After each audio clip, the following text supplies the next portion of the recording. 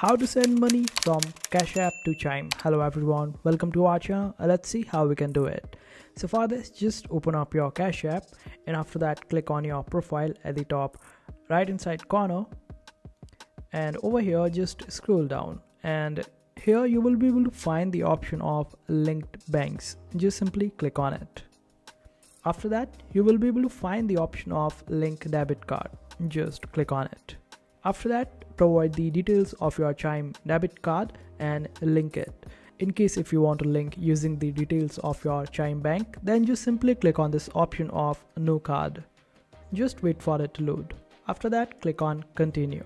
It might take a little while. After that, you will be able to find the option of Chime over here. In case if you're not able to, then just simply search for it in the search institutions option.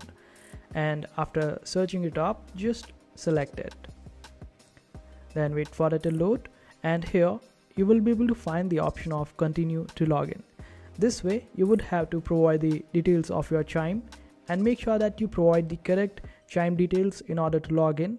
And after that your chime will be linked with cash app. This way you would be able to transfer money from cash app to chime. And that's how you do it. I hope this video was helpful. Make sure to hit that like button and also subscribe to our channel for more helpful videos